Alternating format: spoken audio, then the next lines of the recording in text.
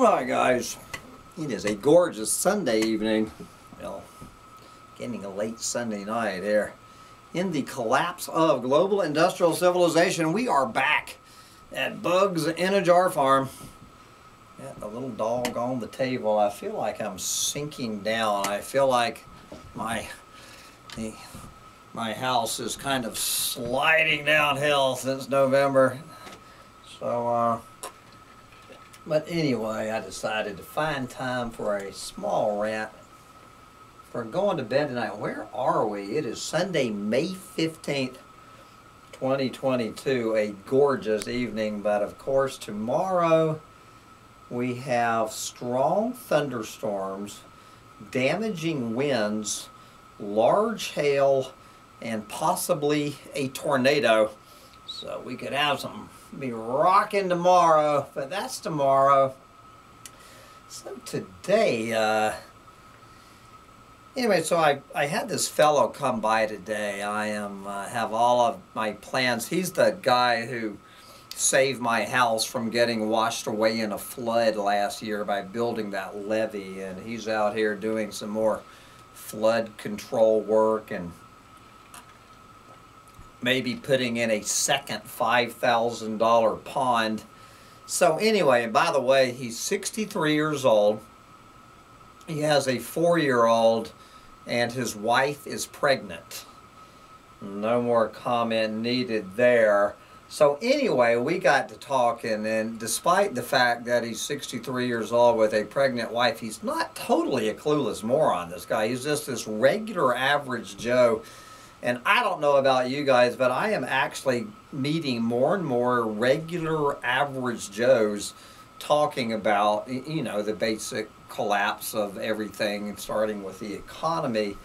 And so he had, you know, all of his trucks and machinery and everything are run on diesel. And he told me and I believe the guy, I guess. I mean, his entire business is dependent on diesel. But without diesel, the guy is out of a job, and everyone depending on the man uh, is, is screwed. He told me with the price of diesel, which is now $6.19 in my town, he thinks we're looking at $10 diesel by July is his prediction and he was telling me that he is going not to spend $70,000 on diesel, but he's going to spend $70,000 more on diesel than he did last year. Uh, good Lord. So the guy is on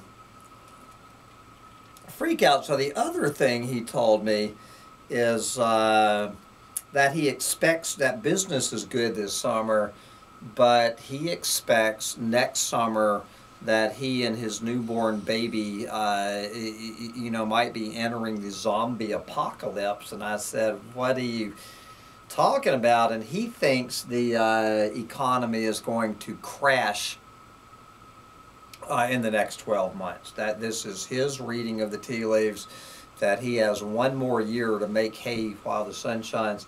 And what he told me, what, uh, and I don't think I was too insulted by this, what he is finding this summer, he said that more and more people are dipping, like I am.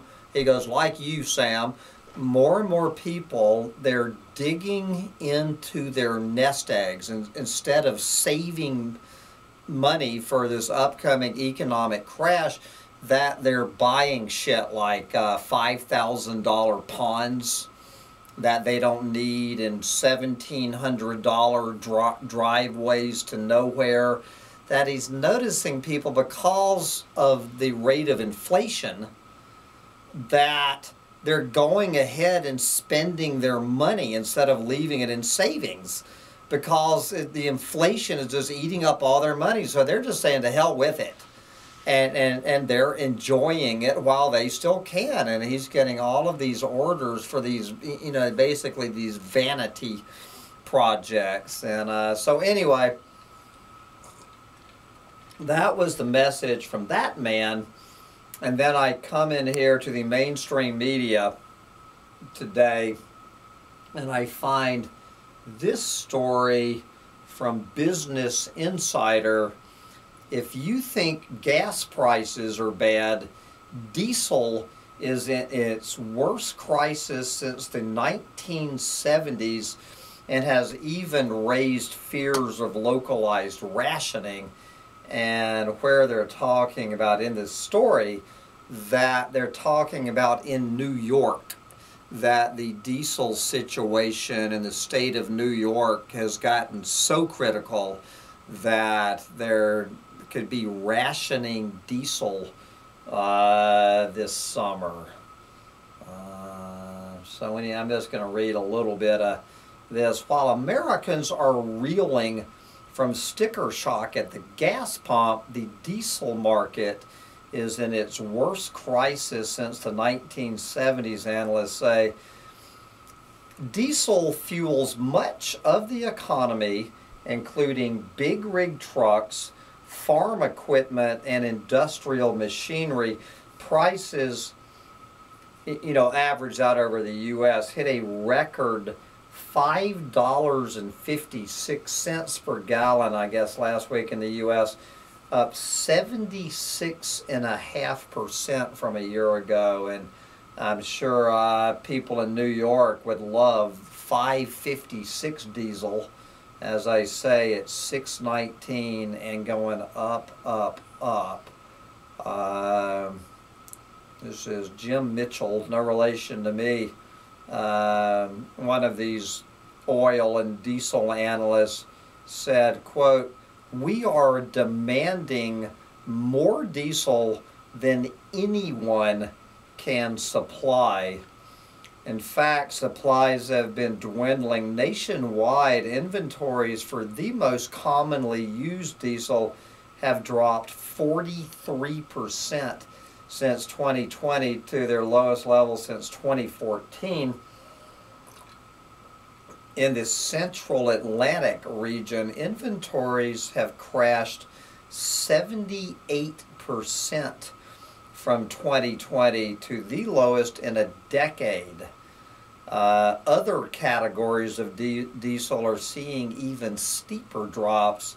And in New York, the situation is so dire that refinery and fuel analyst John Castaneda told Bloomberg, I would not be surprised to see diesel being rationed on the East Coast this summer.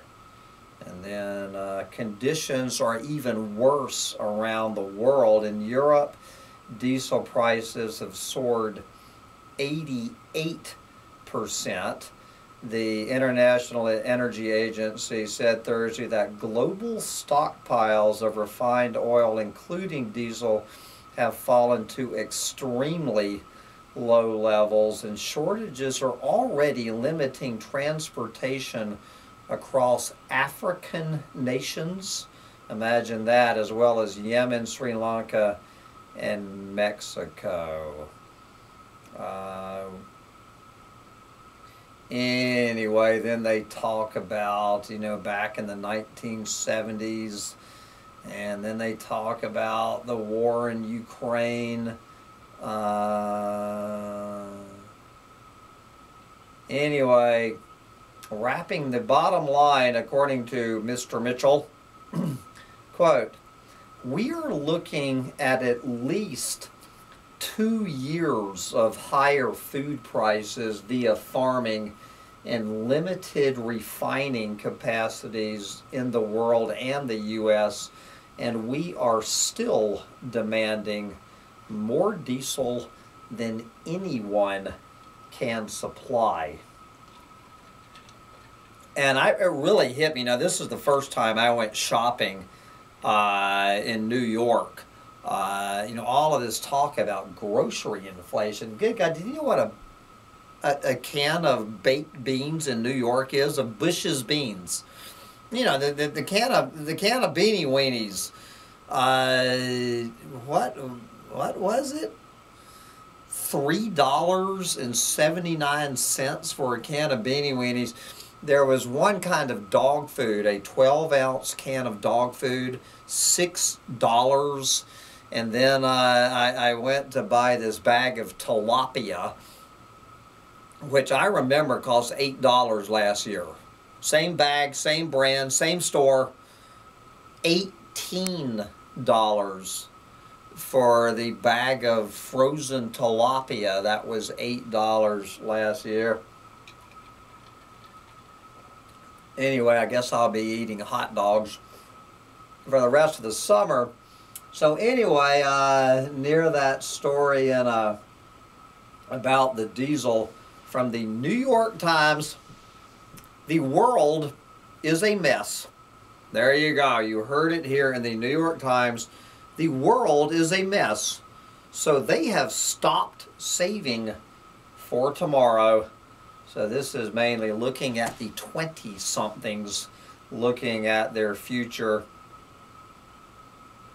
In a tumultuous time, many adults under the age of 35 have stopped playing it safe. They are getting out there and enjoying it while they still can. You know, good Lord, being in your 20s, looking at the tumultuous world, uh, anybody saving for their future. You, you know, uh, instead of banking as much of their pay as they used to, they are saving less, spending more, and pursuing passion projects or risky careers here is Nimatra Narang, age 27, said she was prudent about almost everything until the end of last year when she had an epiphany.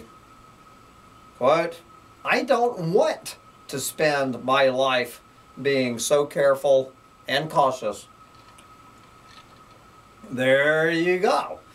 Um, Anyway, then they talk a little bit about corona panic, which we don't need to talk about uh, here. Um, one thing she had always wanted to do was live in New York, baby. So she packed up everything in her LA apartment and made her the move in March. Yes. She also took a new approach to her finances before the corona panic. She said, she was putting about $2,000 into her savings account each month. Now it is half that amount.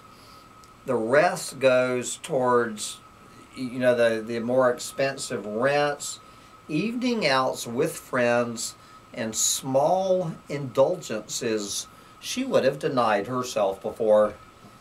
Yes. I wanted to use my savings to have a life experience. She said, There you go. And she is not alone. A recent study by Fidelity Investments found that 45% of people aged to 35, quote, do not see a point in saving until things return to normal, close quote in that same age group, 55% said they have put retirement planning on hold. Yes. For some, like Narang, the isolation of the corona panic uh, triggered the decision to enjoy the moment. There you go right here in the New York Times, triggered the decision to enjoy the moment, financial consequences be damned. For others, the motivation has come from worries over climate change, Russia's invasion of Ukraine, domestic politic instability, political instability, soaring inflation, through the roof housing costs, and a topsy-turvy stock market. Hannah Jones, a stand-up comic in Denver, said she used to save almost all of her discretionary income. She was a thrift shop regular who refused to pay for a Netflix subscription. Now she has become what she calls a, a quote, financial nihilist, meaning she puts significantly less into her savings. The shaky state of the world has been on her mind. Quote, I am not going to deprive myself some of the comforts of life now for a future that feels like it could be ripped away from me at any moment, she said. Sounds like a real comedy routine to me. Uh, in her stand up act, the 27 year old Jones has a reliable joke. Quote, No, I am not saving for retirement. I'm going to spend my money now while we still have a supply chain at all. Close quote. It's a quip that changes with the headlines. On some nights, instead of supply chain, she simply plugs in the, the catastrophe du jour. Yes, the anti frugal mood is pervasive. Hannah Fuller, age 25, said she was once enthusiastic about saving for her future, having taken, having taken financial aid while attending a private high school and college. She was assiduous about managing her money, making sure to max out her Roth IRA each year. But now she says her mindset has shifted it started when she was living in Portland, Oregon, where she grew up during the wildfires of 2020. Quote, being surrounded by the smoke, you could just really feel that doom and gloom.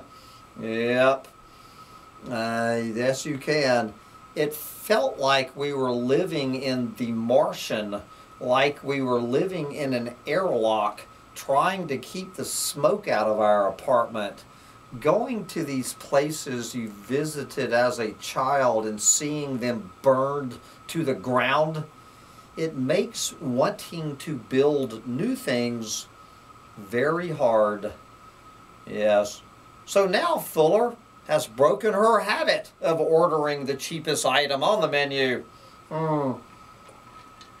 She just booked tickets to a summer music festival in Barcelona, Spain.